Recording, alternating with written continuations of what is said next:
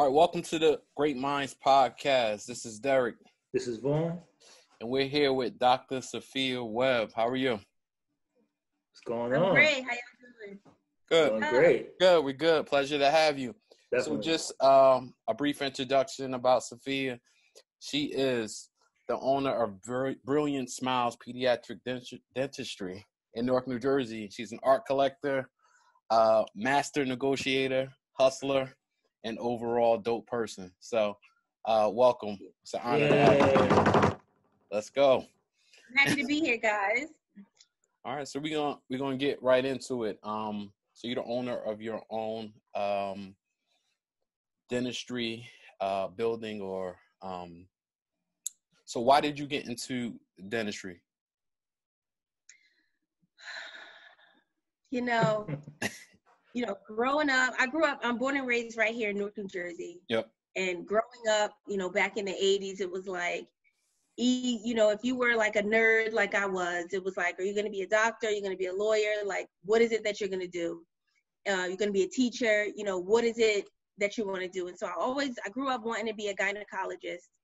And I was like, I want to deliver babies. This is going to be great. But I went on a mission trip in Guatemala and I went with a bunch of doctors, a bunch of dentists, and there was one dentist from the Dominican Republic that was on the trip, and she didn't need a translator, so I got to shadow her the whole time. And she was like, you know, if you become a dentist, you can make a really good living. You work nine to five. If you want to be, you know, a mom, a wife, or whatever, then you have, you know, a lot of free time to do other things, and you don't have to be on call a lot. And I was like, all right, I'm sold. And um, so I applied to dental school, and the rest is history. Wow, that's a good point. I never thought about it that way though, because you know you do work typical dentists. They work a nine to five, and if you were a gynecologist, you know you'd be on call. Ain't no nine to five. Ain't no nine Not to at five. all. I never thought about it like that. Wow, yeah. definitely. So I know that you opened up in Newark, right? So what's the importance of that? I think you know it was good to tell that story to why out of all places you picked, pretty, pretty much home to open up everything.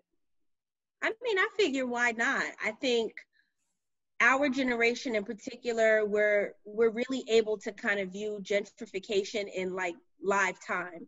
Hmm. Uh, I went to Howard for dental school, and I started there 2004, 2005.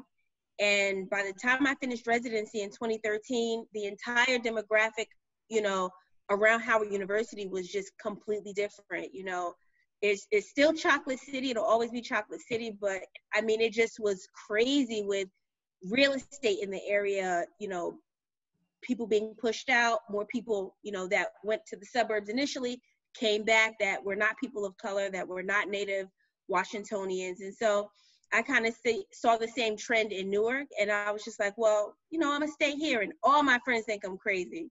They're like, oh man, you know, you need to get out, you know, you should move somewhere else, and you know, other places are great too, but I'm just, I'm too dedicated. I'm a total Newark head. That's what's up. Yeah, Did you- wrong with that. Did you pick Howard for a specific reason? Did you, or Well, I said the first school to let me in, I was going to. Easy, Well, you know. I'm going to Thomas Edison uh, Dental First- Academy. yes, I say yes.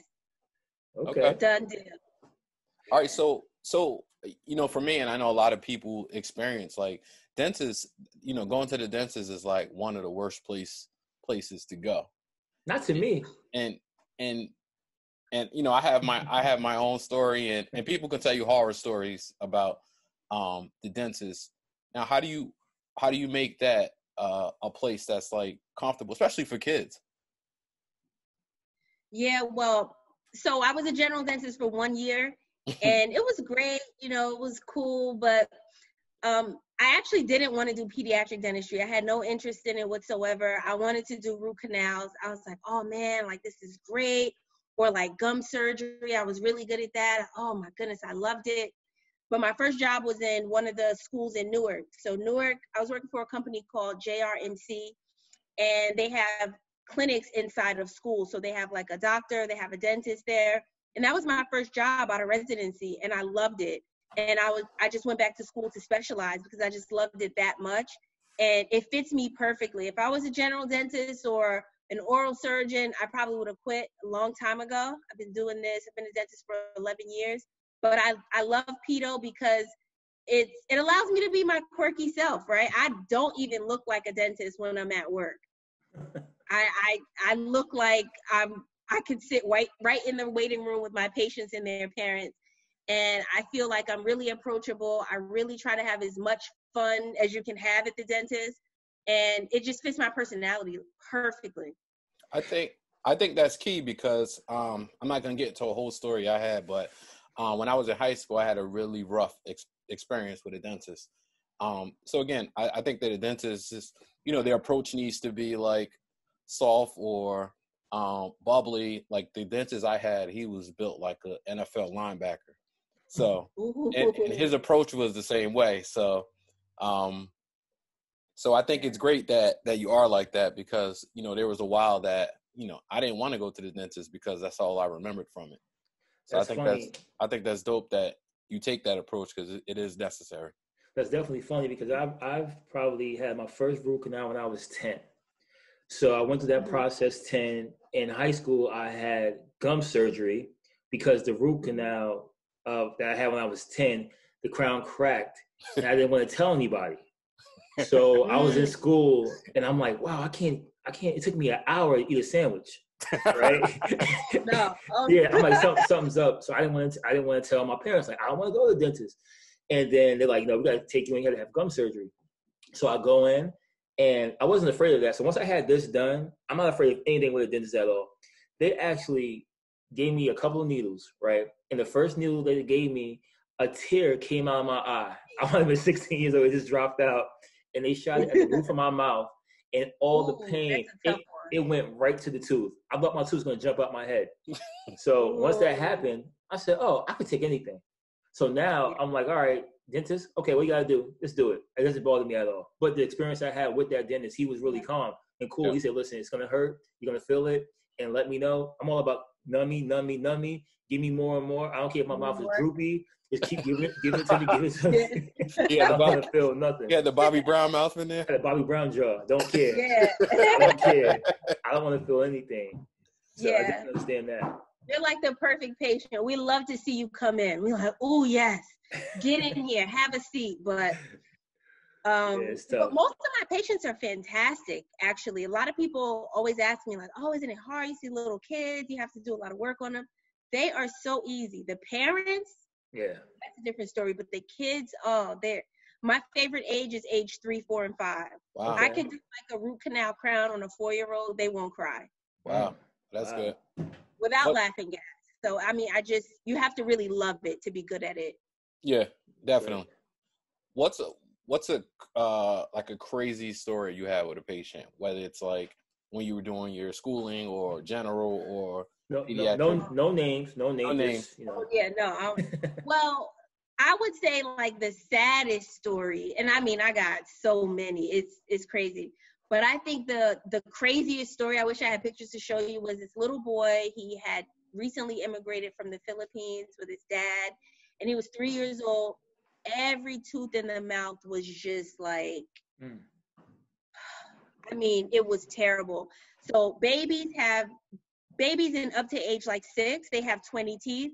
I had to extract 16 teeth. Oh, wow. So he only had four teeth left, and they were in the back. Uh, hopefully, you know, they were able to stay a long time. I don't work at that place anymore, so I haven't seen him in years. But that probably was like the worst, um, like the worst case visually. But at the end of the day, it was great because he didn't have infection in his mouth. Yeah. He was able to, you know, probably pay attention in school better and, and just be all around happier. But, you know, it was definitely a devastating thing to like, and it was fresh. I was fresh out of residency when I had to do this. I was wow. like, oh man, it didn't make me feel good at all. But most of the stories are great stories, you know, it's, it's really, really like a super fun job. Yeah. I, I tell people you don't have, you don't know any pain until you had tooth pain. Facts. And I tell people, so some people get lucky, never have a, a cavity, never have any issues with their mouth. I'm like, listen, you don't understand the pain that that can do. That'll make you do some serious things. I've seen people. It's a story. I don't know if we're going to go off topic, but there's a story of, about a couple years ago. A lady, um, she was in Nyack, I think Nyack or somewhere upstate New York, and she took a bottle. She had a bad toothache allegedly, and she she started drinking to numb the pain, and drove the wrong way on the highway and, and, and died Wow. And killed like her her kids, everything. People didn't understand what happened. And they said she had no issues with mental health, everything that was all good. But they said she had a real bad toothache. And when I heard the story, I watched it, it's like a documentary on HBO. I watched it. I'm like, you know what? She was in, in her right mind at the time. If you have a, she had a serious abscess in her mouth, it was like that affects Oh, your yeah. brain. That goes to uh-huh. your head. So Oh, people yeah. don't understand how serious tooth pain is. I mean, a 10 year old boy, a Deamonte driver in Maryland, uh, right when I was going into residency, actually passed away due to um, an infection that was started by um, one of his upper teeth. Mhm. So it's a very serious thing. You know, people always assume it's just a baby tooth, it's going to fall out. Um, and they will fall out, but they don't fall out as quickly as you think they do. And so it's extremely important for everyone to take their child to the dentist by age one and preferably a pediatric dentist because I went to school for two extra years on top of dental school just to be trained to treat children. So taking your child to a pediatric dentist is going to reduce the the chance that they'll be traumatized should they need something done. Um, even if your dentist is great and they're your family dentist, they're wonderful. Take your child to see a pediatric dentist, preferably me. But if not me, if you don't want the best for your child, take them to somewhere else. But take them to a pediatric dentist. That's on you if you want to get the second best, then do your thing, right? You know, hey, exactly, exactly. All right. I- So go ahead, Von. No, I was gonna say one more thing I want to bring up. I know that we talked we talked briefly previously about um about Newark, but can you go into how you were able to get that building? Because I think that that's something that's so that's big, you know, to be your age to have your own, you know, practice. That's huge. So can you get into that a little bit? Well, it's a really interesting story. So at first, I when I got out of school, I moved to South Jersey. I worked for a company for one year. And then I just wanted to move back home, be closer to my grandparents. And so I moved back home and I had an opportunity with a developer in Newark to be uh, where I currently am, but at the time the deal wasn't right. And I mean, it was a fair deal. It just was so expensive, you know, and, and at the time I really just didn't have the dough to do it. And it was severely overpriced and kind of ahead of the market in my opinion which is worth what? Like i'm not an expert but it just was out of range for me. So i wasn't a, i wasn't afraid to walk away from the table and that's what i did. Maybe a year later the same developer approached me and they had a, a better deal on the table right it was okay you know this is what we're going to provide to you and this is how you're going to you know kind of pay us back in a way. It, it still wasn't the right deal. So I was like, sounds good, but sorry, you know, no Nah. thank you. Not with it. Um, but then the actual deal that I got was, and I'm not gonna name them because um, if other tenants see it, they may get a little pissed off. Yeah, But pretty, I'll, pretty I'll say this, you know, to build the office, um, it, it's typically around $110 per square foot, and my office is 2,150 square feet. Hmm. And I probably was responsible for building maybe like 10% of that. Um, Okay, so, yeah, I got that's a great, great. You got a it a great great- deal. Okay. yeah, it was I would- I was just about to ask you, um, you know, in our pre-meet, you said that you were the master negotiator. Oh yeah. Um, what's what's something you negotiated, or why why do you how did you earn that title?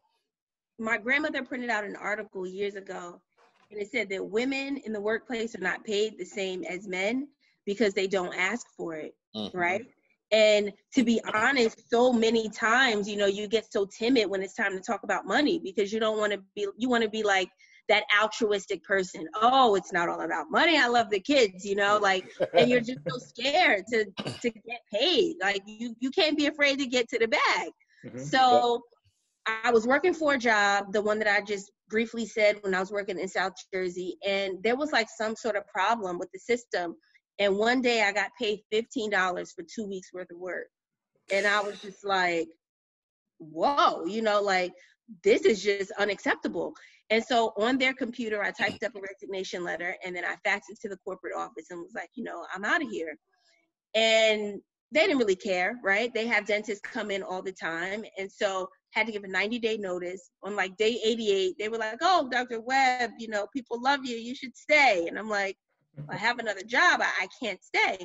So I started working the new job. And, um, and then they kept hitting me up because the place is really remote. It's in South Jersey, um, like really in the sticks, and they really needed me to come back bad. And so I was sitting with my grandmother, and I was just like, you know, I was emailing back and forth, like, you know, I really can't come back. And they were like, you know, well, what what is it gonna take for you to come back? So I was like, aim high, shoot high. I was like, well, I would, I need a car. I need a place to stay because I live in Newark. You want me to go to South Jersey. And I requested double my pay. And so before I sent, like, send, my grandmother was like, whoa, whoa, like, whoa, take it easy. You know, like, I think that's a little much. And I was like, well, I honestly don't want to go back and work for them. So I'm just going to, like, shoot for the stars. And I sent it. And, like, five minutes later, they were like, okay, Yep. So you hit them with the flex package. Definite. I mean, I was surprised. And then, I mean, I, I didn't plan on taking the job, but when they said yes, I was like, damn, okay. I take it now, yeah. You know what it is too, I'm like, going back. and and then after you after they accept that that easily, you like, wow, like they were playing me the whole time. And Yeah. that's why I was like, okay, what am, what am I really doing? You know? And so from that point on, uh, what I requested was on the higher end of what people are getting, maybe like after being a dentist for like five or 10 years, and I was only out one year. And so every other job that I've had after that is that's just been my baseline, and I haven't had any problems. So um, I'm a professor at Rutgers, and I also teach at Newark Beth Israel. And people are always asking. I always do a lecture on negotiating for your first job Yeah. and the residents really love that lecture and they're always like but how did you but when did you how are you able to say that and i'm like you say it Yep. Well, it's a it, it- it's a weird conversation because it's like, especially if it's a job you really want, and you're just like, I don't want to lose the job because I'm asking for too much, or yeah um. So so it's definitely a weird situation, and I think it helped your situation when one like they totally insulted you, th- you Yeah. know, with that with that check, so that helped you, and two, you I- had leverage. yeah i mean i think whenever you're negotiating anything you have to know what you're worth right Yep. you Know can't your worth. Yep. I, I'm not, I don't, I didn't do anything that was so outrageous that was just like, I didn't deserve it. No, I earned it. You know, it was like, you have to know what you're bringing to the table. And if you're bringing like a hundred to the table and somebody's giving you 20, it's not enough. You know, you need to talk to get up to close to that hundred. And I, I don't think it's, you know, I think it's leverage in a way that I was good at my job, right? I got along with everyone. The patients loved me. I was respectful to everyone and you know i was a good employee so i wasn't afraid to ask for that it wasn't like they were giving me anything like no i was like busting my hump and i earned every quarter you know so you have to know what you're capable of now you can't be like a lackluster lazy Exactly. person and then walking in and saying nah this is what i want abc you're not going to get it you know but if you're at the top of your game and you're really really going in like you better ask for what you're worth That's I think the problem. The problem with people is too, especially I hate to say it, a lot of I would say minorities in general and Mhm. um, women too, because we all know it's always a short change game when it comes to especially in corporate America. So we always see it. I see it all the time. I know it, and it's about knowing your worth too. And I think a lot of people don't know their worth or they're afraid to say their worth. And like you Yeah. said, if you know what you're doing, you know what you're worth, you say it. And then if they don't respect it, then you make a move. Um, yeah but I think it's you can't extra be afraid hard to walk away can't be. I think it's extra hard too, especially for a female too. And I, I, just me seeing it, being a male and watching how it goes. Yeah. Because if you if you have a strong a strong female, a strong African American female, they could get labeled as she's hard to work with, or Mhm. she or, or or she's causing a problem. When really she's not causing a problem. I You just know what want I'm the appropriate bag. Yeah, that's one appropriate Yeah. back for what I'm doing. So it's a way that I mean, we it does to, help to like walk in with my hair like this and a pair of Converse on, like, sorry, man, not gonna work. Not gonna work. but they definitely you definitely have an extra hurdle to get over all the time. So I think Yeah. you knowing your worth and giving those lectures to, to um, people that look just like us and just people you know that helps them a lot. You know, and you just have to exercise your, you know, your negotiation muscle. At the end of the day, like, you're not gonna win every negotiation. You're not gonna come out on top in every situation. But it's a learning experience, right? Like you can be 32 years old, lose it all, and gain it back in two years. You can't be afraid to kind of like go out on a limb. And Yeah. not it's not it's not for everybody, right? Mhm. Like everyone's personality. Some people really need that stability, and it's like they need to be able to see long term. And I mean, do I need that now? I'm a mom, so like, yes. Yes, it's different. Yeah. When I became a mom, I was like, man, I Well, you- anything. Like, you know I what don't. it is too? It's also I think it's our generation too. Because Yeah. like our, our generation before us, like our moms and dads, and even grand grandparents, they would stay at a one job for like 30 years and Yeah. never leave it, right? Like I'm here, you get get a, get a good government job, a good blah blah blah blah. Yeah. Right? Nowadays we're like, no, we can go so many other places, so we move around and we Yeah. kind of look for the best fit for us. And I think we need to start, meaning people in general, care more about.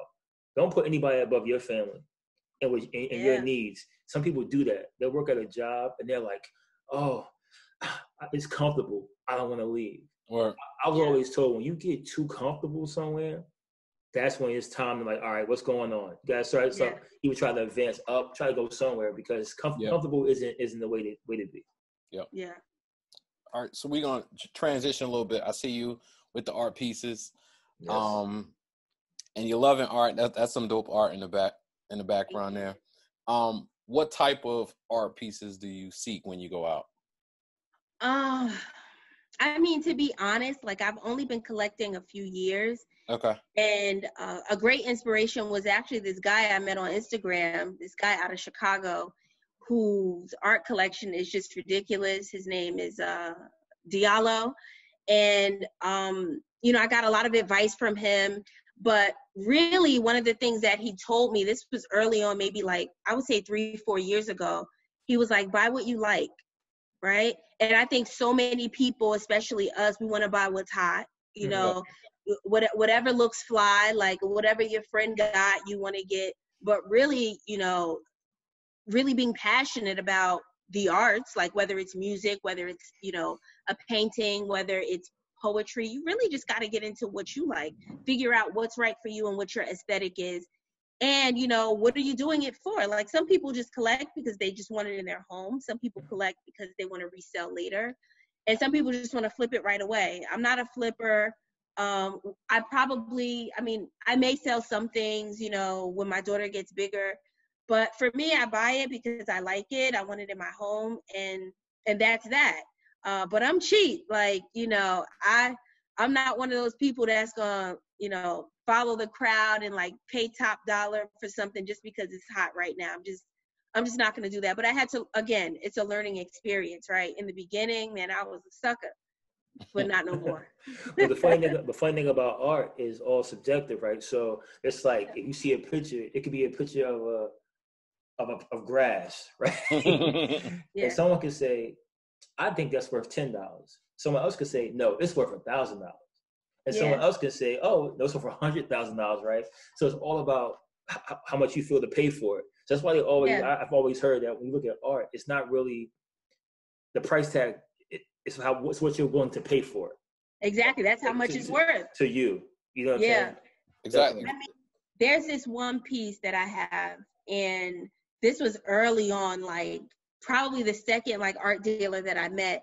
And um, I was I met a guy on Amtrak. I was going to DC, and we were just talking. At the time, I was like talking a lot about guitar, and I was like, "Oh man, do you know any guitar players? Like, I need some lessons."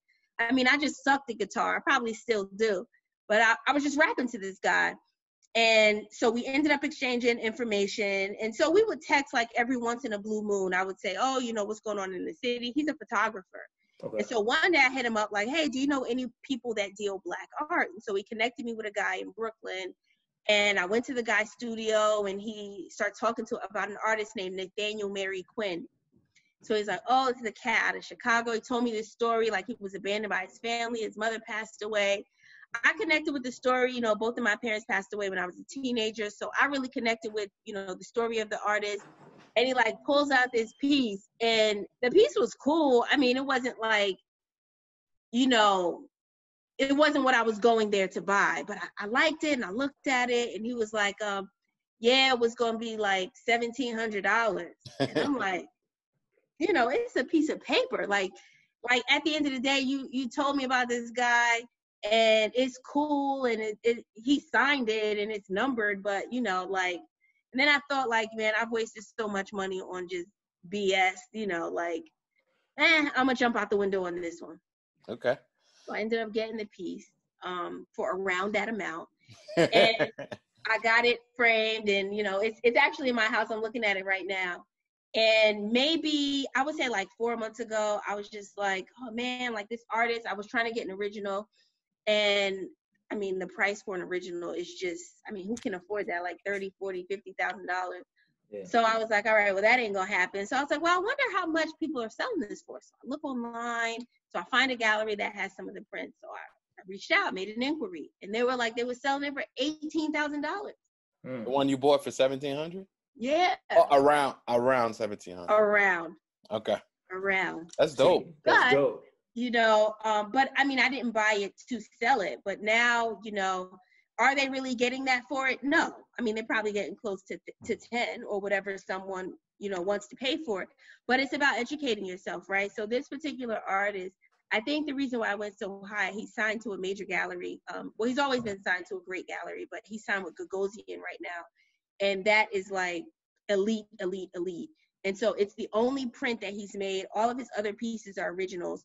So people that are true collectors, they want that piece, right? Because it's just his only print. And so that's why the price went up. But it, would I pay something like? Absolutely not. would you guys pay something like that for it? Nah, probably not. Absolutely not. Absolutely um, not. But but yeah, but it's it's all about um, you know, what you're collecting for, what's your reason behind it and for me it's all about like a story too right like i love to go antiquing and so part of the thrill for me is like oh like i, I have these old school mammy dolls right it's like back in the day mm-hmm. um, you had people that you know in slavery and i went to this place i was on the road coming from dc and it was just like a place where they had tons of barns and thrift stores, and so I bought these two mammy dolls and a straightening comb. It was like no black people in sight for like. I mean, I see. I had to buy it because I was like, I cannot allow someone who's not black to have this. Uh, like, I have to have it, you know. Yeah. And I paid nothing for it. I mean, it's, I I don't know how much it's worth. I'm not interested in figuring out if it's worth anything, but it's just the thrill of the story for me. And I have it on display, and I'm like, if someone asks about it, I'm like, oh, actually, I was blah blah blah. You know, so for me, that's what it's about, and it's not about showing off or, you know, it's just it's just for me. For yeah, yeah. But I've done some pretty crazy things to acquire art, though. I have really? to say. yeah. like what? Like what? Um. Well, one thing's not so. It's not as as crazy as it may seem. Uh, the guy that I met on Instagram, one day we were like talking on the phone, and I had never met him in person. It was just like we would talk, and he was like, "Oh, you know, um, there's this Banksy hotel that's in um, in Palestine in Bethlehem, and it's gonna be like uh, anniversary to the year that they opened in a in a few weeks. Like, you should go. And I was like, I should go. So I called up one of my best friends uh, from dental school, and we like booked a last minute trip, and we went. We flew to Tel Aviv, and then we went through the border. We went into Bethlehem.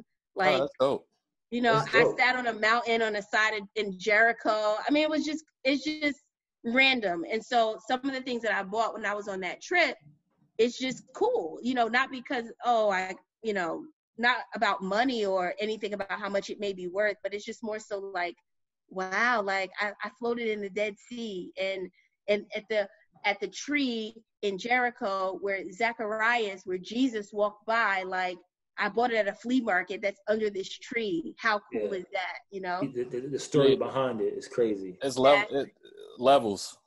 Yeah. yeah, so that that's what it is for me. It's you know, but I don't knock anybody that just you know, I don't knock the stunt kings. I mean, do what you do, enjoy. But yeah. for me, it's more about like the journey to getting there. Gotcha. I, I would say you could went to Canal Street and cop, and cop something. I could. do you know, like, uh, I don't I don't know how many years ago, maybe close to 10 years ago, Banksy, I I don't know if it was Canal Street, but it was like this um you know, just like those little carts that they have. Yeah. And it was all original, like Banksy pieces. People had maybe purchased for $30, $60, depending on the wow. size that you wanted. And it was just spray painted like a rat or something. and come to find out they were authentic pieces and like mm. they're selling now 20K. People pay like 30 bucks for it. Wow. Oh, that's crazy. That's yeah. Real. So again, you buy what you like, you know, and I think that that particular artist, he's really passionate about that because, you know, if you like it, you're gonna spend twenty dollars on it. If you know it's a real piece, then you're gonna be clamoring. But if you don't know and you're just like, oh, I like that. So Yeah. I mean, I kind of that's just the way I do it. You know. Well, I think it's a win-win too. Like if you if you buy it because you like it, if nothing pops off from it, like at the end of the day, you like it anyway. Exactly. You can hold on to it, and if something crazy happens, then you got to let it go for a good amount of bread. Then that, that's great. Then that that's wonderful. It's a win-win. Well, I think most artists are like that too. It's like the whole starving artist thing. I think they do it. They're not doing it for the money anyway. Most of, most artists aren't doing it for the money. They're kind of just saying like, all right, if you want to pay twenty bucks, pay twenty bucks. If you want to pay twenty thousand, I'm not gonna stop you. Pay twenty thousand. exactly. But but I think too, it's like you know, people be selling a lifestyle, right? Mhm. So people, you know, they come off, oh, they're they're you know they're hobnobbing and you know they're like so elite and so cool, and that works for them, and that's great. And I probably like double tap on the gram, and I'm like, wow, that's really cool. But for me, you know, first of all, I'm black, grew up in Newark, like I could, you know, if I have extra money to just throw at art like that, thousands and thousands of dollars, I can probably funnel that back through into my community yeah. instead of trying to buy like a status symbol Yeah. to look cool. So some, you know, I like to joke around and say like, oh, I'm cheap, but it's just like if I had just like, you know, a hundred thousand dollars just laying around, I'm not gonna buy something that's, you know, an object that could be destroyed, God forbid, in a fire. Yeah. Um, when I can take that extra money and help people that look just like me uh, get to where they want to be in life, you know, get way beyond that where I can ever go. Yep. So definitely, Understood. definitely. Um, one other thing I want to get into: how has motherhood changed you? Like your work, your perspective. Like I know you Mhm. mentioned about like how you were, you know, more willing to move from jobs because you're just like it's just me, whatever. But Yeah. now, you know, it, it, it's perspective. So how was it? How was it changed you? it, it's made me a little bit more careful. Like, you know, before I would be like, you know what, like this job isn't, I'm not feeling it. And I would just be like, all right, I'm gonna find one next week. And I would really just like do it, you know, and it, it was cool. Like, you know, I was responsible with my money. But now that I'm a parent, it's like it's not just me, right? Like I'm fine eating peanut butter and jelly. I'm fine eating a tuna fish sandwich, but you know, if things all fall apart, but you know, I have this little person and I can't let things fall all the way apart. So Yeah. with that being said, you know, I haven't bought any art in a while, um, but I think I got a pretty good stash already. Trust me, she she's gonna start making you art yourself, and you're gonna put it on your refrigerator. So it's I gonna know, be right? art. It'll be worth You know, I'm anything. really sad. It, Mother's Day just passed, and it's my first Mother's Day. yeah. and you know i my daughter goes to daycare because you know I, I have to work full time and i was looking forward to like that cheesy mother's day gift you know mm-hmm. like the handprint yeah. the macaroni like Yeah. i was so ready and i didn't get to get it so i'm a Oh. little sad but she is returning this week for two days because i have something to do and i'm going to request that they make me a mother's day gift There you Yeah, go. However you get it, right? You know, I really wanted it because I, and then my friends were like, "Oh, you can just make it with her." I'm like, "No, I Not want the to be same. Oh, surprised." Oh, you got to be surprised. Yeah. You know, I, I want to see what it is. I'm like, I was looking forward to it. And you're right, Von, because I was gonna frame it and everything. Like, That's the art. Yep. That's the art right Yeah. there.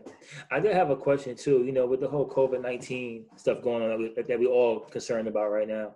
Oh, um, yeah. how, how do you see your business or your office changing in the midst of that when everything is, you know, when we're kind of open again? I guess you could say. well, it's kind of good and bad for my specific situation. My office opened in February. I was only open for 28 days before I had to shut down due to Wow. the coronavirus. Wow. So it's bad in that, man, I was just getting started. You know, I didn't really have time to generate enough revenue to really weather a storm like this.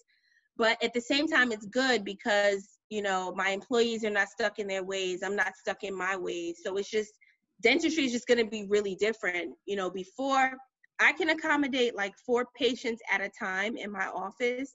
Um, I have room for six chairs, but I can really fill four. But now with social distancing, it's really, you know, you really have to be meticulous with scheduling, getting people in, getting people out. Before, you know, mom, dad, grandma, godmother would come to the appointment. Now it's like one parent, you know, and then it's like if the child is old enough, if they're well behaved, then the parent can't sit in the room because social distancing. It's three of us in here. This room is what, like 10 feet by 12 feet? You know, it, it's not safe for all of us to be here. Uh, but I did prepare my office, and we have, uh, you know, suctioning systems. We have lots of PPE. We have N95 masks. So, you know, we're definitely dedicated to keeping everyone safe. Like, you know, I'm trying to keep my family safe. I want my employees to be safe, my patients to be safe. So it's just a different way of practicing. So it, like I said, it's good and bad because, you know, I, I didn't really get into a really good flow on my own because I was only open for four weeks. Yeah. So- wow. Wow. Yeah. Ah. All right, so we're gonna move into uh, our rapid fire section that we like to do with our guests. Um, this is fun. Trust me. No, nothing crazy. just uh, a couple, couple of simple rules. Um, there's one answer. There's no context. The answer is the answer, Okay. and um, no googling. We're just gonna go. All right. Okay. Don't ask me nothing off the Wonderlic test. I don't know. Nah, I promise we, we would not do that. I promise. you. All right, here we go. All right. Anita Baker or Patti LaBelle? Anita. Jay Z tickets or Giants tickets? Jay Z. Hmm. It's gonna be a lot of eye candy at a concert. Okay. All right, one's got to go permanently. Art or music? Oh shit. Art. Ooh. Okay. So you watch Ozark? I'll say that. I did. Yeah. Okay. Ruth or Wendy? Oh, Ruth, man. Okay. Ruth. All right, here's my last one. Joe Exotic or Carole Baskins? Joe. This is my boy Joe. Free Joe. Read Joe. yeah. Okay. Starks or Oakley? John Starks, man. I knew she was gonna say All John. right. Because light skinned guys was in back then anyway. So, um, definitely a pleasure having you on. This oh, my pleasure. thank you very Um, much. Thank you very much. I think you are a um, great example for, you know, Everybody. girls, everybody, entrepreneurs, and I don't want to lock you into a box and say um, just girls because, like, you know, especially when you talk about the negotiation and stuff like that, everybody's dealing with that. Um, with that being said, you know, how you yourself unapologetically is dope. Hair Thank you. goals, definitely. Oh, thank Um, you. If, I, if I could get that, those, those days, Yeah. those days Keep trying, past me. trying. I don't know they're gone. so, Now you finish. but I appreciate having you on. Um, my pleasure. looking forward to hearing from you in the future. Yep. Hopefully, Wonderful. open up soon. Yeah, Hopefully, open up soon. yes. Oh, actually, I'm going to be opening up on June 1st. Okay. So, That's great. Um, so yeah, so June 1st. And please, everybody out there, ladies, gentlemen, young, old, don't be afraid to ask for what you're worth, but work hard and, you know, just enjoy life, enjoy the process and everything that you do. Don't do it for the gram, do it for you. facts. Definitely. Facts. All right. Appreciate Thank it. you. Thanks, guys. Thank you. Yeah. Take Later. care. All right, so Dr. Suffiyah Webb. Yes. Thank um, you very much, salute. Doctor. All right, so um, we're gonna wrap up with our musical picks. Um, I actually got two, two this week. Got two? So, All right. Two. Um, so this week I got Marlon Craft, um, MC from New York. Uh, got a pretty dope pros- project called Funhouse Mirror. And my other one, um, I actually just start listening today. Uh, DVSN, A Muse In Her Feelings, another OVO, Toronto cat. Um, Toronto is killing the R&B game with. So is this R and B or is it or is it rap? Nah, it's R&B. So straight singing. Yeah, so he's got like Alright. he's got um Toronto's killing it in the R and B scene, man. Between between him and Daniel Caesar and The Weeknd and Because Toronto's like a big melting pot too. They have a lot like because different Tory nationalities that are there. Drake, Yeah, they're, yeah, yeah, So- it's dope up there. Marlon Craft and DVSN are my picks this week. Okay. All right, I have three. So, you know, these are not like anything new, but who I'm listening to this past week. I've listened to a lot of G-Eazy. I've been a G-Eazy fan for a minute though. So this is before like all the new stuff that he's putting out, but like, you know, from from kind of kind of from the beginning, I've been mm-hmm. checking for him. Um that Westside Gunn album. I know how you feel about it, but I I could I could take it in um I could take his music in dosages. Yeah, yeah, nothing wrong with that. But I just like his beat selection, as you stated, and I just like it depends what kind of mood I'm in. So I've listened to his last album, and then that that Royce allegory. Still, I still listen to that album. It doesn't yeah, matter. That's, that's, definitely in the rotation for sure. Definitely, he, he's like to me, he might be my my favorite MC out right now. Yeah, that's more than fair right there. Yeah, like over anybody. Yeah, next next level. Definitely. All right, so we're gonna wrap. Um, thank you for watching and listening. Um, again, follow us on Instagram at the Great Minds Podcast. Um, you can search us on Spotify, Apple Podcasts, everywhere, SoundCloud, um, whatever's most convenient for you. So, thank you for listening, comment, all that. Yeah, appreciate you. And shout out to um, my homie D Flame On for the shirt. Yeah, um, mine didn't come, man. so we can um you can check her out at dflameon.com for merch. Thank you for listening. Peace.